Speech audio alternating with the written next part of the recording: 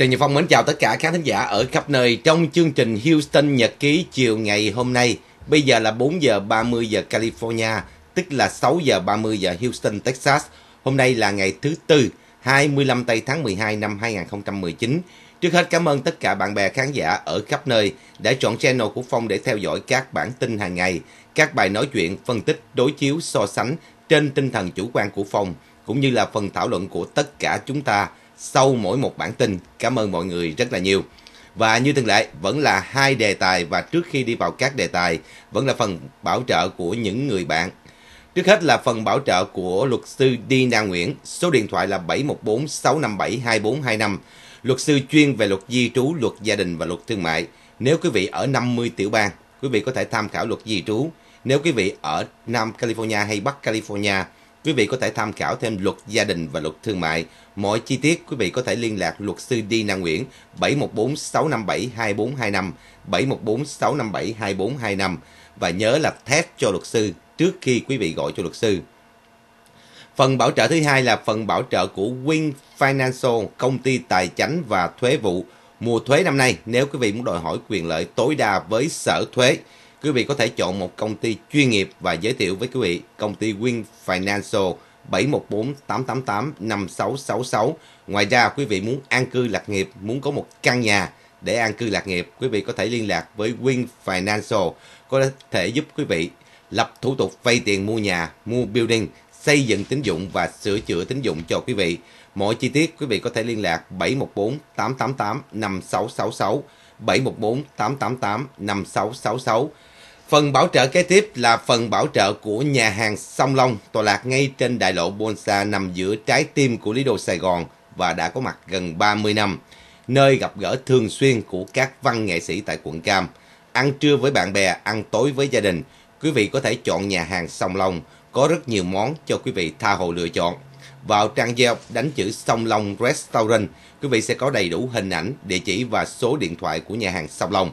714 775 3724 714 775 3724 và đó là số điện thoại của nhà hàng Song Long. Phần bảo trợ kế tiếp là phần bảo trợ của nha sĩ Võ Ngọc Mỹ Hằng, tức Centra Võ DDS, chuyên về nha khoa cho người lớn lẫn trẻ em.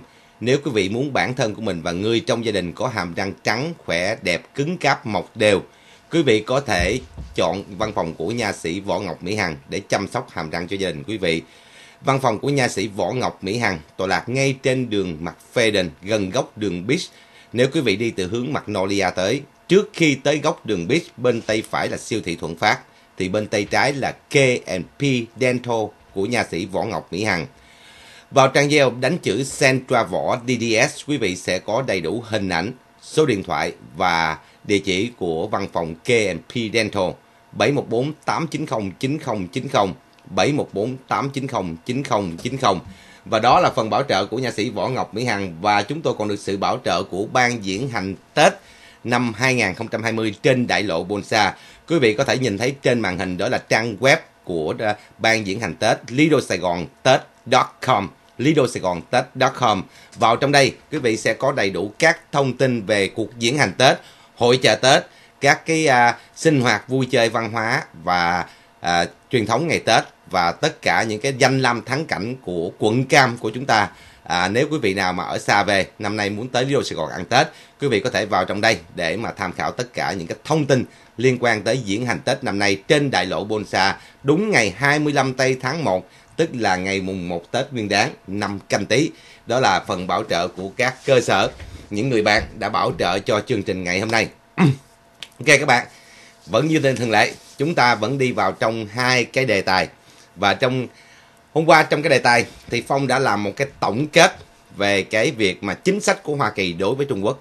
Và đồng thời cũng làm cho các bạn thấy một cái tổng kết về thị trường và cái gì đang xảy ra tại Trung Quốc trong suốt năm 2019 và từ đó chúng ta có thể đưa ra những cái suy đoán và những cái tiên đoán cho cái giai đoạn của năm 2020 như thế nào đối với tình hình tại Trung Quốc. Và riêng trong ngày hôm nay thì à, trên tờ South China Morning Post, một tờ báo được xem là khá có khuynh hướng gọi là thân Bắc Kinh. Với những bài bình luận nhiều à, bài bình luận thân Bắc Kinh.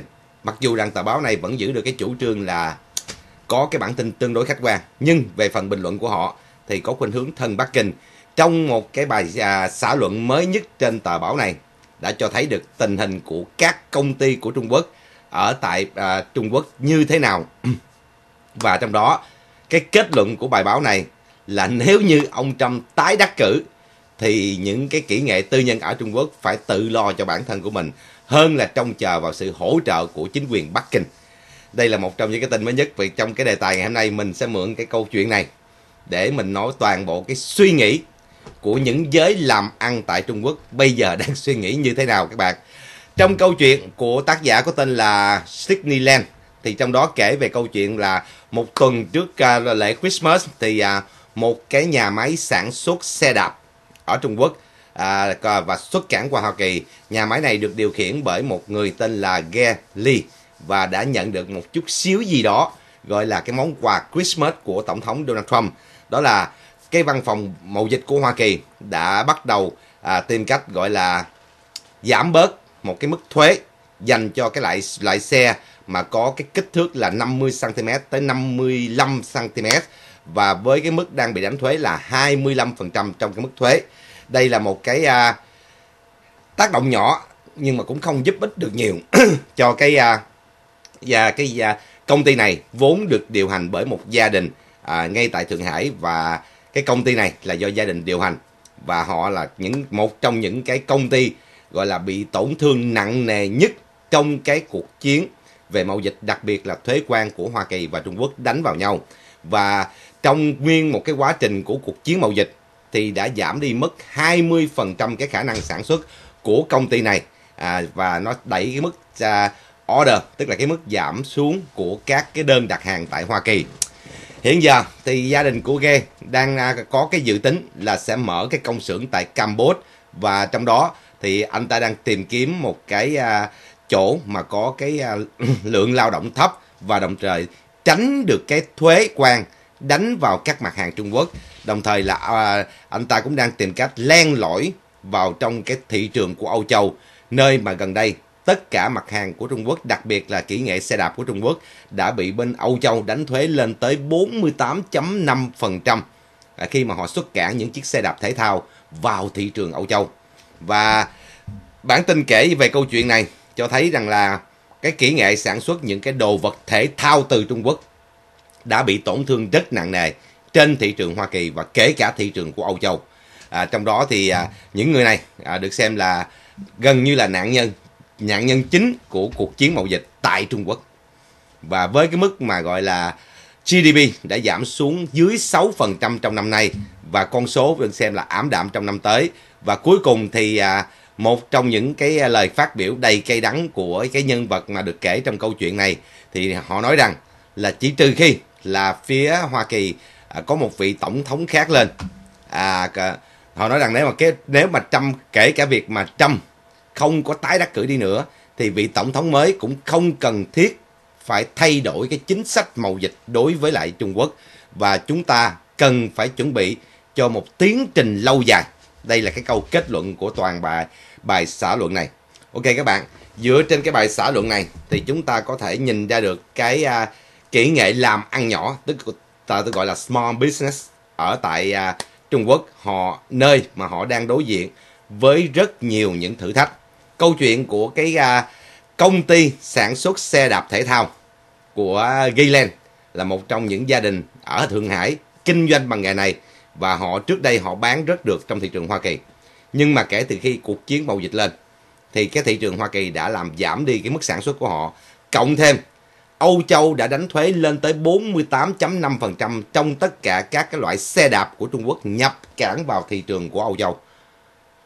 Và coi như là cái mức xuất cảng của cái thị trường xe đạp à, thể thao của Trung Quốc vào trong thị trường à, của Hoa Kỳ và Âu Châu đã bị giảm đi rất nhiều. Cộng thêm các bạn còn nhớ cách đây mấy ngày tôi có loan tin là công ty DSL, một trong những công ty à, chuyển hào hàng trên toàn cầu đó, cũng cho biết là cái mức mà gửi hàng của Trung Quốc ra bên ngoài đó, giảm 50%. Điều này cho thấy rằng là à, các bạn thấy là cái nền kinh tế của Trung Quốc khá là gọi là căng thẳng. Nhưng mà để nhắc lại thì có lẽ chúng ta phải đi ngược lại năm 2009. Năm 2009 là được xem là cái năm bùng nổ kinh tế nhất của Trung Quốc gần như là từ năm 2009 cho tới năm 2014. Hầu hết là 70% các mặt hàng ở tại Hoa Kỳ đều có cái cái uh, nguồn gốc xuất phát từ Trung Quốc. Nếu các bạn có dịp tới những cái uh, sport uh, house hay là những cái uh, uh, những cái tiệm gọi là bán lẻ về hàng thể thao đó thì các bạn sẽ không ngạc nhiên khi thấy tất cả đều made in China từ năm 2010 từ lẻ chín cho tới năm 2014 à, tôi nhớ rằng là khi mà tôi ghé vào đó mà tôi mua những cái à, đồ dùng đó à, cho gọi là thể thao đó thì hầu hết đều made in China. Nếu các bạn không nếu mà các bạn ghé cho tới giờ phút này nó vẫn có một phần nào ảnh hưởng nhưng mà nó giảm đi rất nhiều. Những cái, cái ví dụ như các bạn làm nghề đánh bóc học à, đánh, đánh box á thì những cái bao tay đánh box cũng made in China. Rồi cái à, bao cát cũng là made in China rồi các bạn nhớ là những cái à, quần áo những cái đồ trượt hay là những cái dụng cụ mà các bạn tập thể thao ngay cả cái ngành fitness của Hoa Kỳ. Những cái à, ống rồi những cái máy mà để quý vị tập uh, gym tạm thời là gọi tập gym đi thì hầu hết đều xuất phát từ Trung Quốc. Coi như những cái mặt hàng này á là made in China không? Rồi một khoảng thời gian trong cộng đồng Việt Nam rộ lên cái phong trào gọi là ghế massage tức là ngồi ghế mà có cái à, đồ massage ở sau lưng đó các bạn. Có một dạo họ nhập cảng motor từ Trung Quốc. Rồi họ thiết kế lại bên ở đây cái bao bì rồi cái, cái kiểu dáng. Nhưng mà cái góc bên trong á, cái cái motor đó vẫn nhập cảng từ Trung Quốc. Thì lúc đó cộng đồng Việt Nam có rất nhiều những cái uh, ghế massage ngồi uh, bán tới mấy ngàn đô la một cái. Nhưng mà cái uh, cái cái cái máy massage ở đằng sau cái ghế ở trong cái ghế đó thì là những cái motor đó xuất phát từ Trung Quốc rồi chưa kể là nếu mà các bạn đi vào trong các cái uh, siêu thị của Mỹ thì các bạn không ít nhìn thấy là Made in China không. Nhưng mà sau 17 tháng à, cuộc chiến mậu dịch diễn ra, khi mà ông Trump đánh quan thuế vào mặt hàng của Trung Quốc đó, thì dần dần những vật này disappear, biến mất hết. có như là bây giờ các bạn, nếu như bây giờ mùa Christmas là cái mùa mà tặng quà nè các bạn, các bạn bước vào các tiệm bán lẻ của Hoa Kỳ trên toàn quốc, kể cả những cái tiệm bán quần áo, kể cả những cái tiệm bán vật dụng thể thao, kể cả những cái tiệm bán những cái uh, lặt vặt những cái đồ trang trí trong nhà. Vân vân thì các bạn sẽ thấy là nó đa dạng hóa hơn. Tức là không còn cái mặt hàng rẻ của Trung Quốc nằm ở trong đó nữa. Lúc trước đó là toàn mặt hàng rẻ của Trung Quốc không. Mở cái đích lên là các bạn thấy chỉ make in China. Nhưng mà bây giờ nếu mà các bạn mở lên á thì các bạn sẽ không thấy nữa. Đôi khi chúng ta lại thấy chữ uh, PRC chữ PRC cũng là make in China tức là People Republic of China tức là Cộng hòa Nhân dân Trung Quốc. Make in PR, PRC đó là cũng của Trung Quốc nhưng bây giờ chúng ta vào trong đó thì nó gần như là biến mất. Hình ảnh này cho thấy cái thị trường Hoa Kỳ hay thị trường Âu Châu tương tự như nhau và do đó cái ngành xuất cảng tại Trung Quốc đã giảm đi rất nhiều. Gần như là bây giờ nhiều công ty phải tìm cách à, giống như cái công ty của Gile là cái công ty mà sản xuất xe đạp này nè họ phải chạy qua Campuchia để tìm cách mở xưởng bên Campuchia với cái mức công nhân rẻ và đồng thời là bên Campuchia vẫn còn tránh được cái thuế quan của Hoa Kỳ đánh vào à, Trung Quốc. Tại sao họ không chuyển qua Việt Nam? Lý do có những ngành nó chuyển qua Việt Nam nhưng có những ngành nó không dám chuyển qua Việt Nam tại Việt Nam bị cái sắc thuế đánh y chang như Trung Quốc. Có những ngành là như là sắt thép kim loại là Hoa Kỳ đánh thuế y chang như Trung Quốc. Do đó họ không chuyển qua Việt Nam, chỉ một số ngành nào đó. Ví dụ như ngành đóng bàn ghế à, furniture hay là ngành vải sợi đại khái thì còn chạy qua Việt Nam. Còn những cái ngành khác họ tránh luôn cả Việt Nam là họ chạy qua Campuchia họ chạy qua Philippines họ chạy qua Indonesia Malaysia hay là họ chạy qua Miến Điện thậm chí là Pakistan. Chứ họ không dám để ở ở Việt Nam hay Trung Quốc bởi vì mức thuế Hoa Kỳ đánh vào cái kỹ nghệ à, kim loại của hai quốc gia này. Thì điều này cho các bạn thấy là ở Trung Quốc thì nó có những cái mô hình làm ăn khác nhau. Cái cấp độ lớn nhất là cấp quốc doanh tức là những công ty quốc doanh của nhà nước cộng sản trung quốc làm chủ nắm hết tất cả những cái kỹ nghệ chính được xem là cái xương sống kinh tế của trung quốc.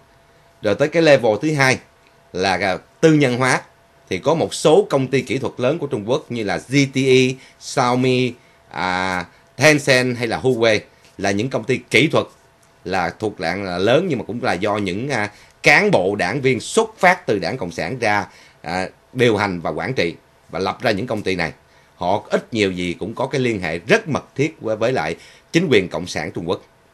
Và cái level thứ ba là cái level bắt đầu từ cái level thứ ba trở đi thì những người dân bình thường họ mới họ mới đủ khả năng và họ mới ờ, có thể mon men tới được là cái hệ thống sản xuất à, à, cấp à, kỹ thuật cấp thấp. Và thứ hai là các cái à, sản xuất những à, cho những cái cửa hàng bán lẻ ở Hoa Kỳ. Thì đây là đa phần là những cái công ty tư nhân nhỏ của Trung Quốc với mức độ dưới 100 nhân viên thôi. Dưới 100 nhân viên làm việc ở trong công xưởng của họ thôi. Thì đây là những cái công ty cấp độ thấp và còn thấp hơn nữa là những cái gia đình mà có những cái nghề cha truyền con nối về à, những cái vật dụng trong nhà hay là những cái à, đồ trang trí trong nhà mà làm bằng tay đó thì nó lại xuống thêm một cấp nữa. Tức là nó có nhiều cái cấp khác nhau ở Trung Quốc trong cái gọi là cái guồng máy kinh tế thì nắm đầu hết là các công ty quốc doanh rồi tới các công ty kỹ thuật cao cấp nằm dưới quyền ca, à, lãnh đạo của những cán bộ đảng viên cựu đảng viên của đảng cộng sản Trung Quốc. Là là hai cái ngành chính đó là coi như là Trung Quốc gồm hết rồi.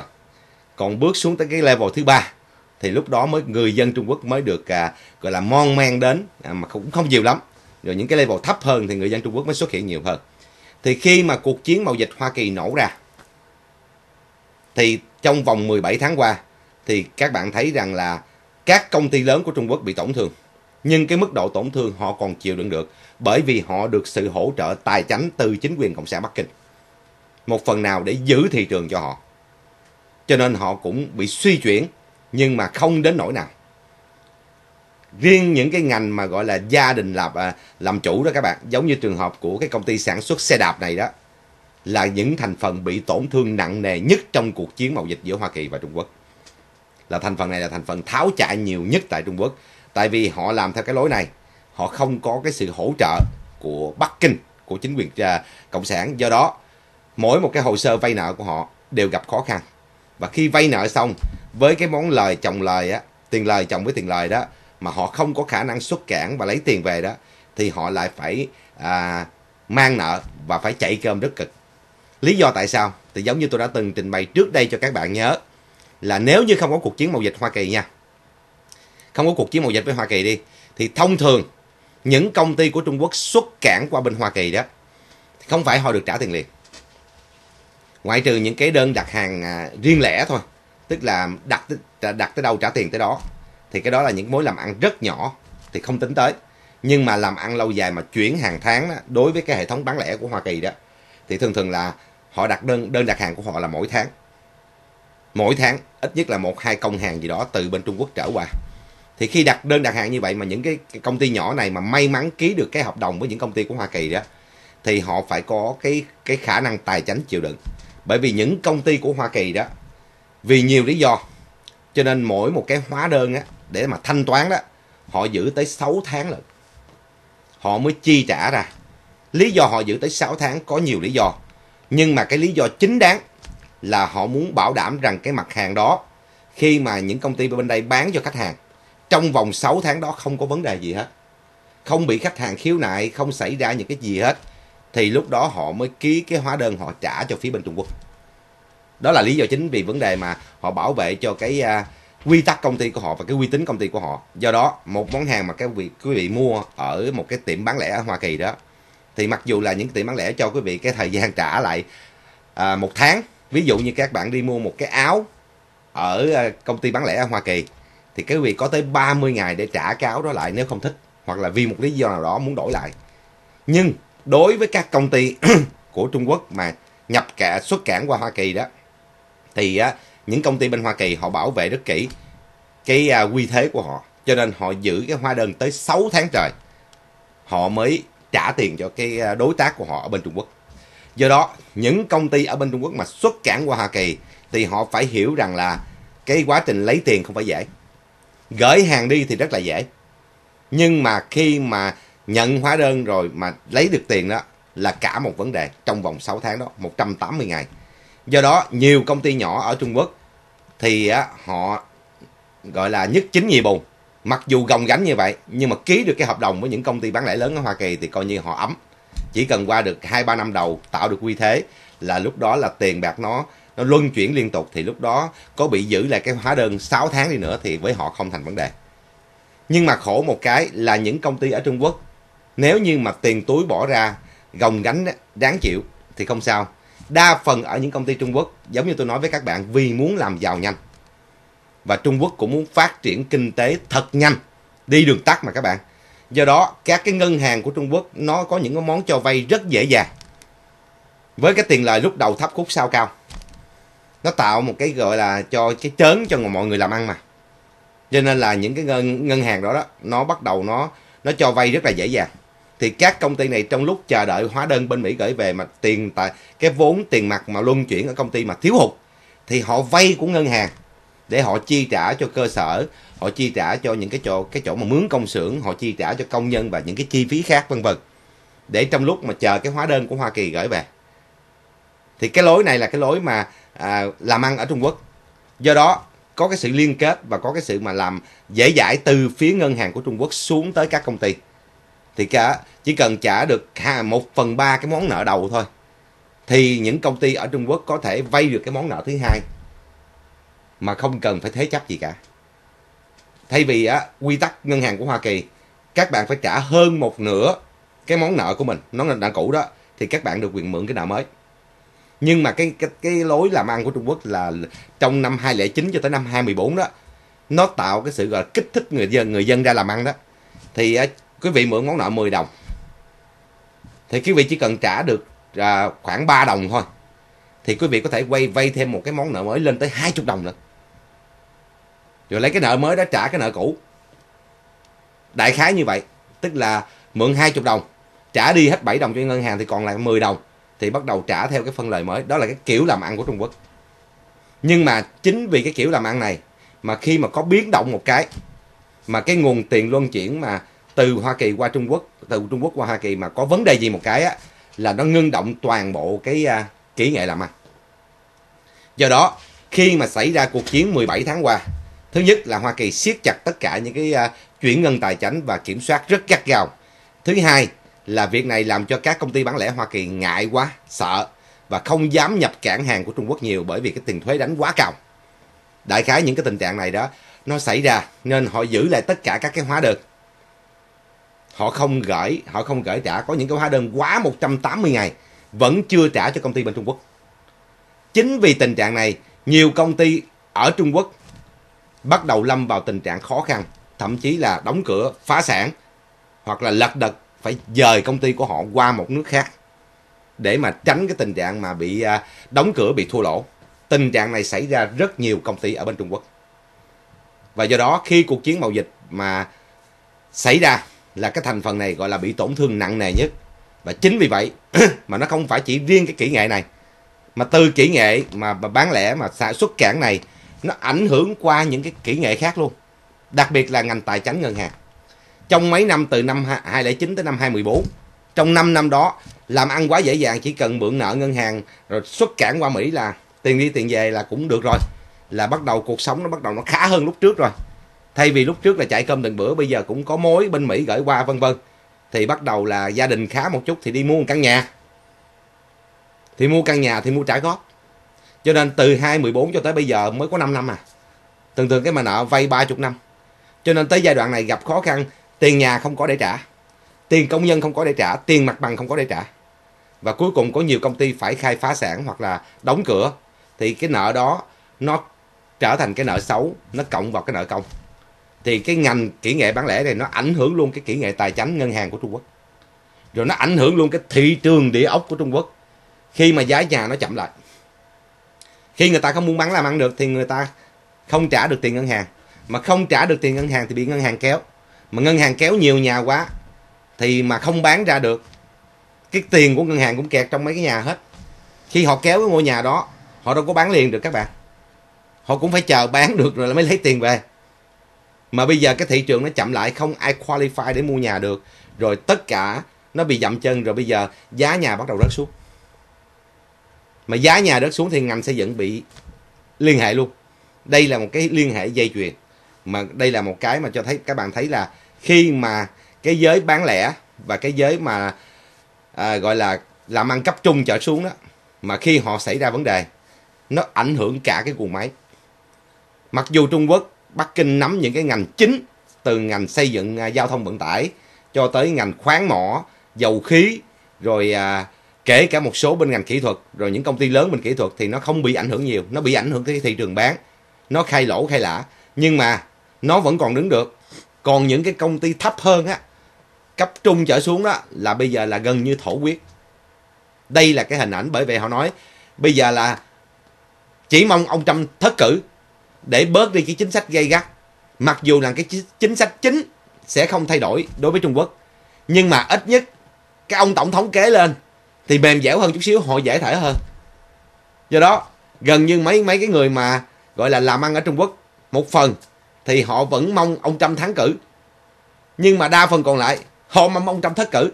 Lý do là vì ông Trump mà tái đắc cử thêm một nhiệm kỳ nữa, không biết ông có dừng lại chưa hay là ông áp tới hơn nữa mà ông ép tới hơn nữa đó là không biết là các công ty của họ sẽ như thế nào bây giờ là coi như là giới trung lưu của Trung Quốc từ giới trung lưu trở xuống là bắt đầu lâm vào tình trạng khó khăn nhất. Khủng hoảng xã hội sẽ bắt đầu từ đây. Giống như tôi đã từng trình bày với các bạn, một xã hội ổn định là nó nhờ vào thành phần trung lưu. Thành phần trung lưu càng nhiều, xã hội càng ổn định. Còn nếu mà cái thành phần xã hội mà cái giới trung lưu biến mất, nó chỉ có nghèo và giàu thôi đó, thì chắc chắn nó sẽ lật, cái giới nghèo nó sẽ lật đổ giới giàu. Tại vì cái khối nghèo nó đông lắm, mà cái khối thiểu số nó giàu như vậy là coi như là cái khối nghèo nó lật đổ cái khối giàu ngay. Đó là một cái bình thường trong cái xã hội mà chúng ta thấy. Còn nếu như có cái lực lượng trung lưu đông ở giữa đó thì nghèo nó lật không nổi nó còn cái khối trung lưu ở giữa nó nó chấn ở giữa rồi. Còn bây giờ ở Trung Quốc cái khối trung lưu bây giờ nó dần dần nó biến mất. Bởi vì cái cuộc chiến mậu dịch kéo dài trong vòng gọi là 17 tháng qua là bắt đầu nó tổn thương nặng nề. Vài ba tháng đầu thì còn gồng gánh được, bây giờ kéo dài 17 tháng là đuối hết rồi. Do đó, đây là cái hình ảnh chung của cả một cái nền kinh tế Trung Quốc. Khi mà cái giới trung lưu nó bắt đầu disappear, nó bắt đầu biến mất mà cộng sản là chuyên môn dùng giới giải trí, giới giải trí làm giới trung lưu. Ca sĩ, nghệ sĩ, tài tử là bắt đầu có xe, có cộ, có nhà, có cửa đó. Kiếm ăn được đó là thành phần đó là giới trung lưu. Thành phần đó bây giờ ở trung quốc lại kiếm ăn không ra. Bởi vì những cái luật siết chặt về à, à, kiểm duyệt của họ nữa. Do đó nó càng lúc nó càng làm cho cái khối trung lưu biến mất mà khi khối trung lưu biến mất, thì xã hội trung quốc sẽ rơi vào nguy hiểm. Tại thành phần thiểu số thiểu số giàu có rất ít. Còn 1.4 tỷ dân đó, cái thành phần nghèo khó rất là nhiều. Chính vì điều này mà tôi mới khẳng định với các bạn trong các cái bài nói chuyện của tôi chủ quan là xã hội Trung Quốc sẽ bước vào một cơn đại khủng hoảng. Không tránh khỏi, vì nó là con đường tất yếu với cái chính sách hiện nay của Bắc Kinh và các bạn, đó là cái bài nói chuyện à, buổi chiều ngày hôm nay cho cái đề tài thứ nhất. Một lát nữa, bước qua cái đề tài thứ hai. Chúng ta lại quay lại mảnh đất Hồng Kông. Chuyện gì xảy ra ở Hồng Kông trong mấy ngày qua? Và có những cái diễn biến gì mới? Và trong cái năm 2020 thì liệu Hồng Kông có giải quyết được cơn khủng hoảng này hay không? Chúng ta sẽ dựa trên các cái thông tin một lát nữa Phong đưa ra. Và chúng ta dựa trên đó để chúng ta phân tích tiếp cái tình hình của Hồng Kông bây giờ. Và các bạn đừng rời khỏi làn sóng phát hình và phát thanh của Phong. Phong trở lại trong vòng 3 phút.